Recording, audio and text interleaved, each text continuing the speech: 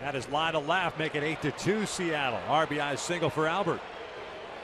Yeah, the 51 extra base hits for Trout, second most the Angels in their history. Garrett Anderson at 56 prior to the O3 game.